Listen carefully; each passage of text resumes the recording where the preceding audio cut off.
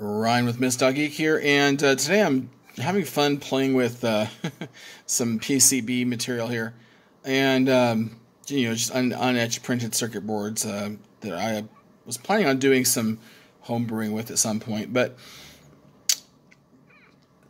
today the issue is that I'm working on an L match tuner, or just kind of fiddling around looking for one and to build one, and I've got this Vericon here, which gives me about 80 picofarads, which really isn't enough. I was hoping to get something around 200. And then I, uh, from one of the things I tore apart last year on my blog, I got this uh, trimmer capacitor, which is tests at 40 picofarad, which is clearly not enough. And I could combine the two and get like 120 picofarad, but still, I think I might need more range. So I thought, well, what's a capacitor except con, you know conductive plates separated by uh, an insulator? And usually the insulator is air, but um, in the Vericon it's you know plastic. And I thought, well, fiberglass is an insulator, and copper is a conductor. And you can see what the arrangement I've come up with here. This is nothing highly unusual. Lots of hams have done, you know, lots of electronics experimenters, for that matter, have done similar things. But I thought I would share it because it's fun and and it's kind of silly and it, let me rearrange this here and um, you know it, it, just let's have some fun experimenting shall we so um, let's try to get, get some decent lighting here so these are just the boards I, I bought on Amazon. They're like 50 by five, was it 50 by 70 or something like that.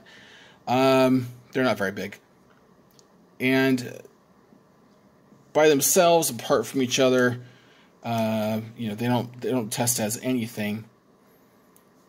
But um, you can see what I've done here is I've, I've gained two of these two together and then gained two of these together and then, you know, sent test leads to the tester. And if I combine them like a deck of cards, I get varying levels of capacitance. So 226 picofarad, not bad. And of course, if I combine them all together,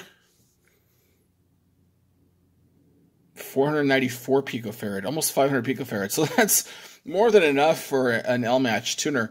And, and the funny thing is, is that um, this would totally work. I'm not sure if I'm going to actually do it. Uh, you know, build a tuner this way. If I did, I think I'd probably want to come up with some sort of way to, you know, slide those in and out without having to actually, you know, sit here and manipulate them manually. Um, but I might. I don't know.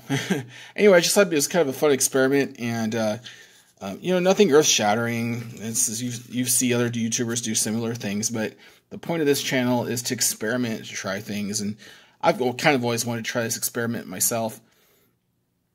And even though other people have done it, there's still something gained to be gained by doing it yourself.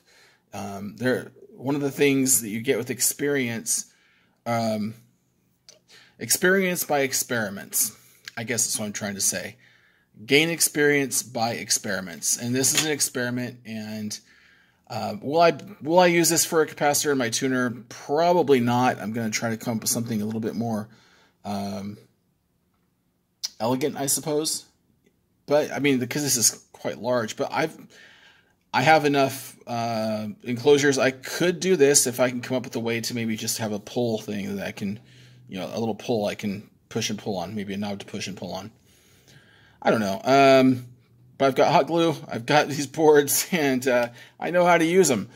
Anyway, uh, thanks for watching, and um, if you haven't, make sure you click like, subscribe, share the video, and about all these dumb things that we do with our electronics and our time.